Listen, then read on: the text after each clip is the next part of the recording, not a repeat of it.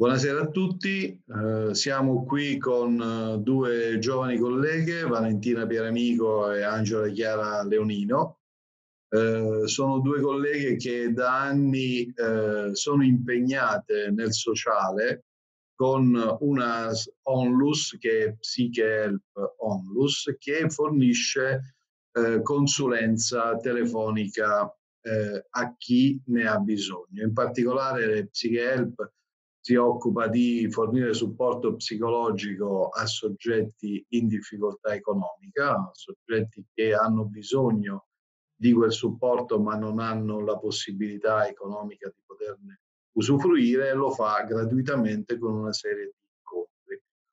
Eh, ripeto, telefonicamente. Con l'esplosione del Covid, eh, PsycheHelp ha deciso di allargare la sua offerta e di offrire anche eh, una consulenza in video eh, costruita su tre incontri di circa 45 minuti, incontri settimanali, e eh, di offrire poi eventualmente ai soggetti che ne eh, mostrassero il bisogno una uh, prosecuzione del rapporto, dell'intervento eh, a costi decisamente molto contenuti.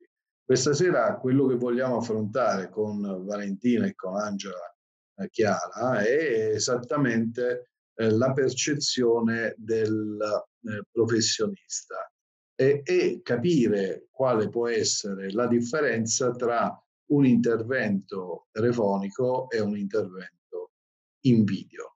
Eh, sono sicuro che quello che cercheremo di fare sarà molto interessante, seguiteci e cercheremo di eh, essere eh, all'altezza del compito che ci siamo posti. Eh, iniziamo con eh, Angela.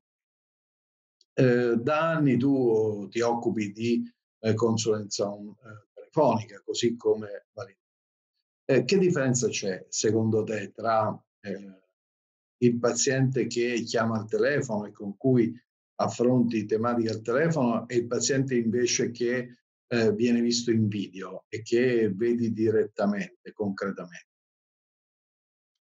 Allora, innanzitutto ehm, io faccio parte appunto dell'associazione PsycheHelp da ormai diversi anni e ehm, all'inizio abbiamo sempre cercato di offrire eh, quello che è un supporto psicologico ehm, telefonico, prettamente telefonico, quindi ehm, sicuramente ehm, è stato un, un, un, valido strumento perché comunque noi tutt'oggi eh, continuiamo ad utilizzare questo tipo di, ehm, di consulenza. Uno eh, strumento eh, che si rivolge ad una eh, platea locale oppure invece vi rivolgete ad una platea di tipo nazionale, cioè possono chiamare da tutta Italia o solo dalla zona dove operate?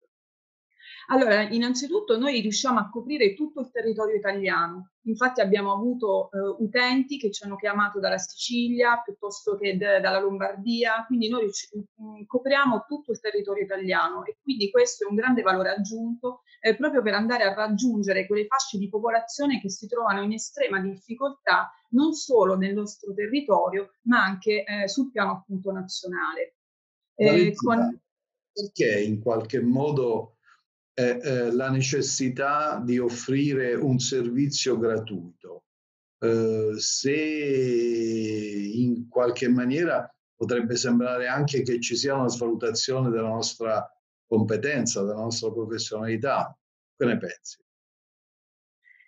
Beh, eh, non c'è una svalutazione della professionalità per il semplice fatto che eh, eh, il focus del nostro intervento è chiaro, cioè noi mh, proponiamo un accoglimento eh, della domanda dell'utente eh, per utenti che hanno ovviamente delle problematiche di accesso a dei costi che non sono quelli sociali ehm, e questo eh, credo che eh, faccia eh, del nostro intervento un intervento che poi eh, è aperto a tutta la popolazione. Spesso si sente che Uh, è difficile uh, avvicinarsi alla psicologia anche per i costi che ci sono uh, e PsycheHelp invece proprio mh, lavorando sul territorio nazionale permette di accogliere ehm, tutte quelle persone che non si possono permettere dei costi che non sono quelli sociali. Ovviamente noi come... Quindi l'obiettivo dell'associazione è quello di eh, avvicinare gli utenti alla psicologia, in particolare quelli che hanno eh, difficoltà a poterlo fare per ragioni economiche.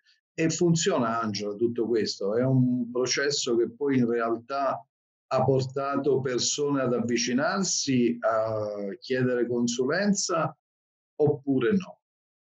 Sì, io penso che questo um, abbia portato veramente le persone um, a anche andare oltre la semplice consulenza dei tre colloqui, perché ricordiamo che noi di PsycheHelp offriamo sempre tre colloqui gratuiti proprio per avere un quadro mh, delle aree problematiche, eh, per poi lasciare la decisione ai, agli utenti di poter continuare un, sos- un sostegno psicologico eh, anche oltre, quindi um, andando a coprire appunto un uh, prezzo che è un prezzo sociale e quindi questo ha permesso a eh, tanti utenti di poter continuare, quindi di intraprendere proprio un percorso eh, con noi operatori.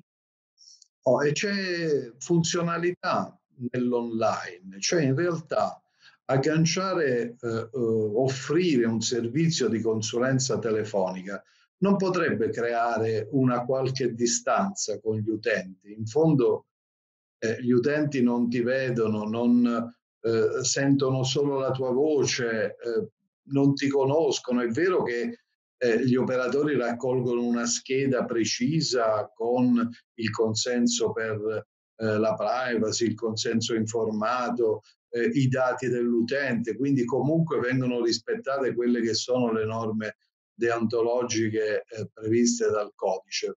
Però alla fine in fondo dall'altra parte c'è una voce. Può funzionare questo, Valentina? Beh, eh, l'esperienza che faccio ormai da tre anni eh, mi dice di sì. Eh, perché eh, in realtà in questa voce eh, l'utente trova un accoglimento della sua richiesta di aiuto, una richiesta di aiuto che spesso è difficile eh, da fare um, con un contatto diretto. Um, l'esperienza con Freak Help um, mi ha permesso di vedere come spesso alcune domande non arrivano e questo è ciò che ci raccontano gli utenti che ci contattano.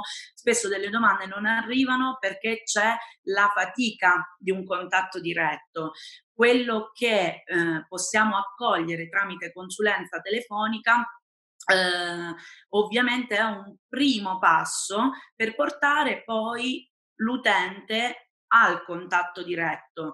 Eh, purtroppo oggi ci troviamo in una società dove mh, mm, non è semplice sempre avere una, uh, un legame, creare un legame diretto. Ecco, la consulenza telefonica credo che um, permetta il primo passo, un primo passo che spesso mm-hmm. cade nel vuoto uh, perché è richiesto per forza il contatto diretto.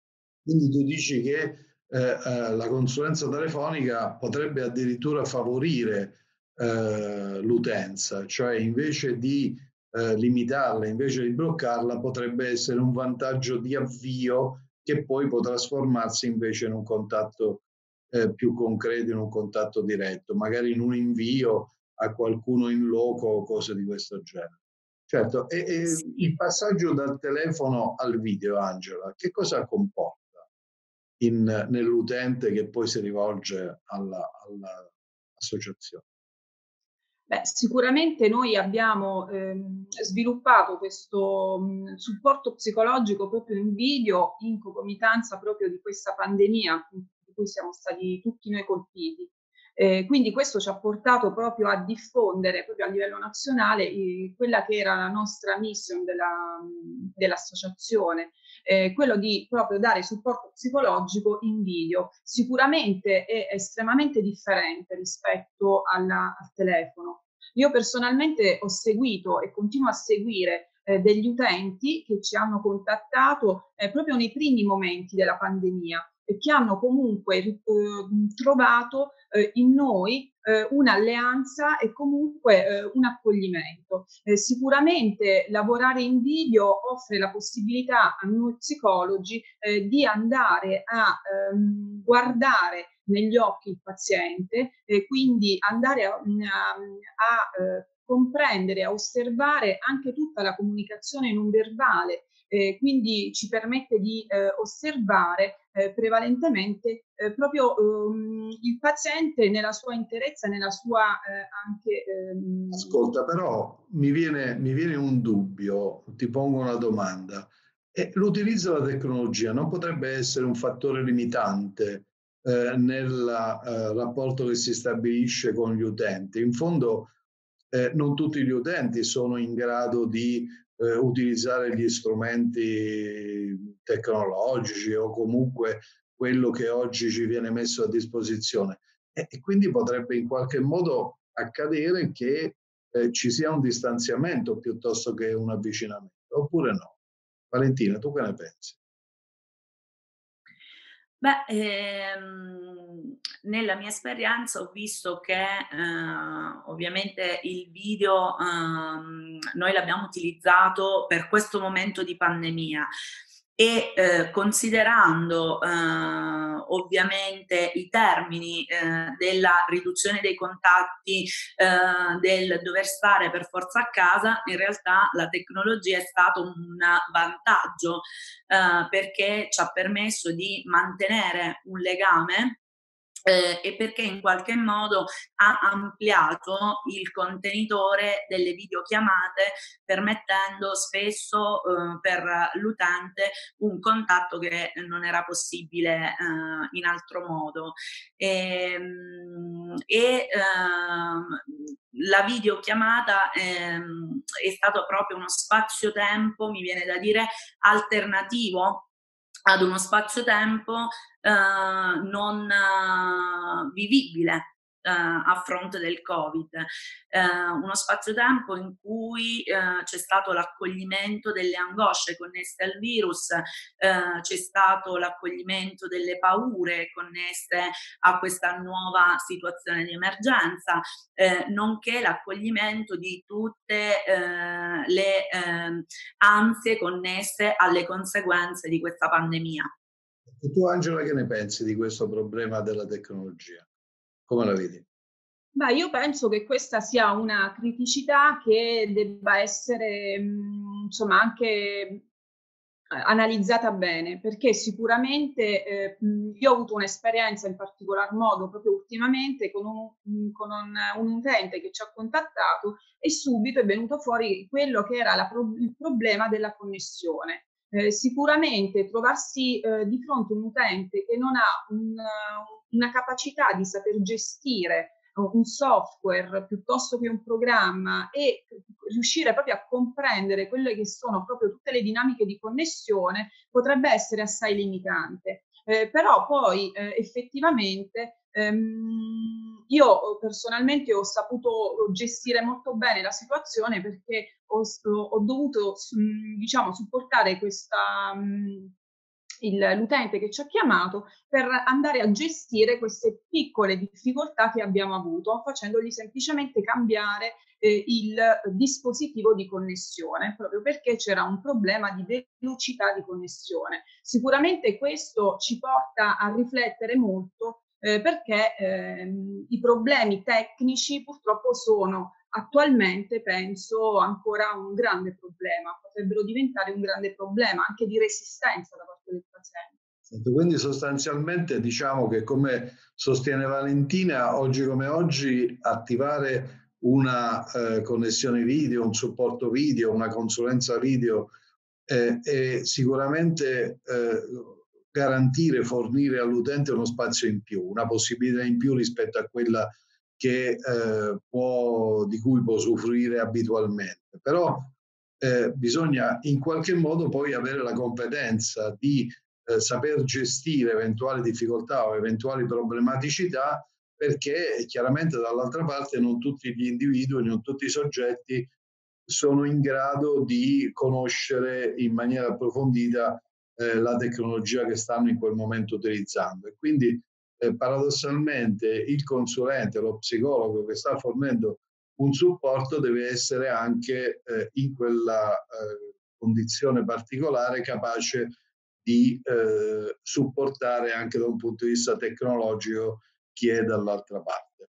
Oh, e, e però eh, eh, vi siete trovati per esempio in difficoltà o comunque vi è stata sollevata la problematica di eh, privacy o di tutela di quelle che sono le eh, eh, situazioni personali che ciascuno poi riversa nel colloquio, nell'incontro con il consulente, cioè eh, utilizzare come fa Psiche un sistema proprietario, quindi un sistema che eh, non usa strumenti forniti da eh, altri, ma un software eh, che è contenuto sui propri server e quindi sulle proprie eh, è, è, totalmente gestito in autonomia.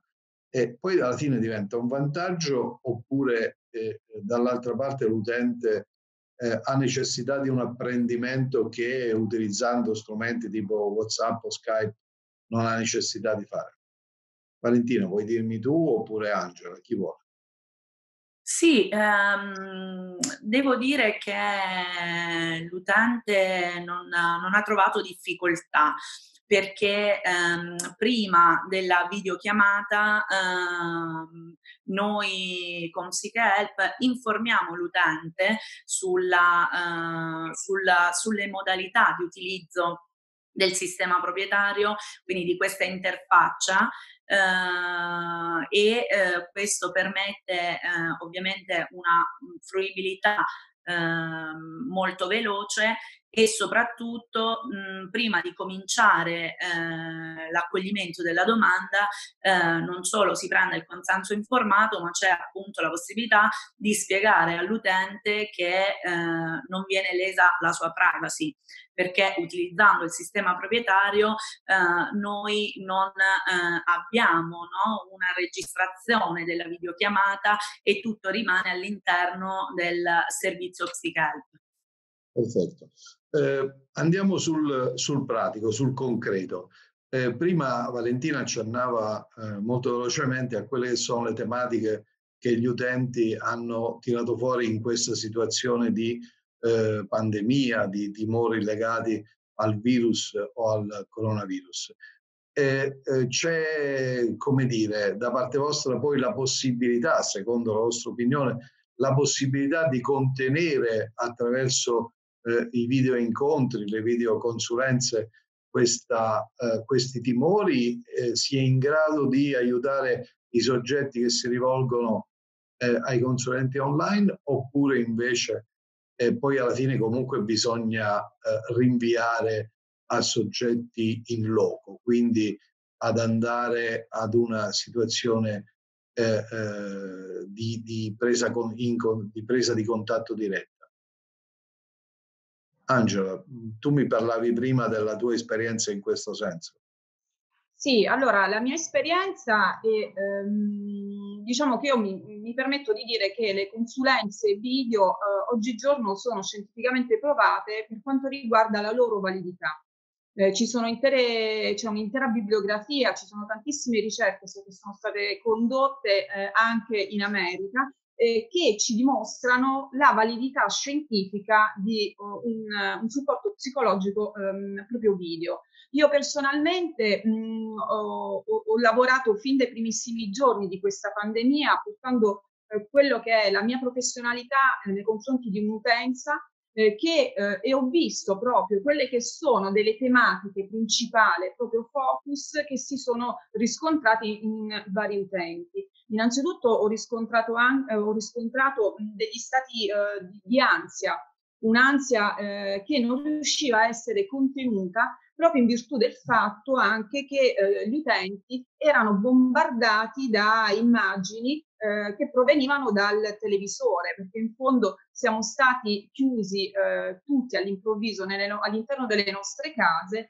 e eh, uno dei contenitori fondamentali è stato proprio il televisore, quindi eh, alcuni utenti hanno avuto proprio estrema difficoltà nella gestione ehm, e ne, anche nella, nel filtrare tutte le informazioni che venivano fuori. Eh, sicuramente mh, questo ha portato eh, l'utente a essere in, in ad avere una continua risposta di allerta e quindi di agitazione. Eh, sicuramente ho riscontrato anche eh, dei problemi di origine psicosomatica, eh, perché le persone hanno riferito di avere ehm, mal di testa, continui disturbi gastrointestinali e questi, mm, tutto questo sicuramente è stato dettato eh, come una conseguenza dell'eccessivo stress che queste persone hanno vissuto, eh, perché comunque dobbiamo eh, renderci conto che siamo stati tutti chiusi alli, per diversi mesi all'interno proprio delle nostre case, non sempre eh, le case mh, sono un posto sicuro, diciamo, perché molte persone insomma si trovano in situazioni di, anche di, di svantaggio socio-economico, ma anche di insomma ci sono stati tanti aumenti di casi di violenza domestica. Relazionali familiari, certo. Mm-hmm. Quindi la tua esperienza eh, concreta è che eh, intervenire da un punto di vista del supporto psicologico utilizzando strumenti come eh, il video e quindi il contatto video con l'utente sicuramente eh, porta a dei risultati ed è un fatto positivo. Eh, Valentina, tu che ne pensi da questo punto di vista? La tua esperienza qual è in questo, in questo caso? Eh, la mia esperienza è che eh, tanto con la consulenza telefonica che con la videochiamata eh, davvero c'è stata la possibilità di mm, mettersi al passo coi tempi. Uh, tener conto di una società che evolve, di un mondo globalizzato, raggiungere l'intero territorio nazionale, cosa che sarebbe stato impossibile da fare ovviamente con un contatto diretto e questo um, ha diciamo avuto un un vantaggio maggiore in un momento in cui appunto tutti eravamo chiusi in casa. Mi viene quasi da pensare che ehm, la videochiamata era una sorta di finestra sul mondo, no? paradossalmente, per quanto fosse un mondo virtuale, ma una finestra sul mondo ehm, mantenendo un legame con l'altro. Poi ehm, credo che siano delle questioni aperte eh, e magari ripensarle da oggi a X tempo ci permetterà di aggiungere no? eh, qualcosa a, a, alle riflessioni che stiamo facendo adesso. Quindi sostanzialmente dal punto di vista di entrambe mi sembra di capire che eh, eh l'esperienza è stata un'esperienza decisamente molto positiva e che in qualche modo dal vostro punto di vista è un'esperienza che va portata avanti e va proseguita, ovviamente studiata, ovviamente eh, contenuta nelle sue eh, eh, esplicitazioni pratiche, capita nelle sue esplicitazioni pratiche, però fondamentalmente è un'esperienza eh, produttiva che dal vostro punto di vista ha dato dei buoni risultati. Assolutamente. Sì, quindi sostanzialmente eh, pensate entrambe di continuare con questo tipo di eh, operatività, ovviamente aggiungendola alla operatività diretta, quindi con il paziente, con il contatto diretto con il paziente, però come diceva Valentina, questo diventa un, questo diventa un modo per raggiungere eh, contesti, situazioni eh, problematicità che altrimenti invece sarebbe estremamente complesso raggiungere perché magari i soggetti eh, potrebbero non essere eh, in grado di, eh, di, di, di, rivolgersi a persone eh, direttamente. Quindi mi sembra di capire, sembra di capire. se vogliamo provare a comprendere quello che stiamo dicendo questa sera, eh, che è stata l'esperienza di PsycheHelp, è stata un'esperienza decisamente importante, decisamente significativa. Vi ha, eh, come dire, eh, eh, da come le avete raccontate le cose, ho la sensazione personale che vi abbia dato molto, cioè che sia stata un'esperienza eh, che anche a chi eh, supportava ha dato supporto, mettiamola in questa maniera, e quindi eh, eh, vi ha dato la possibilità di entrare in un contesto, in un mondo eh, decisamente eh, molto diverso e aprendo anche delle eh, concrete prospettive eh, future.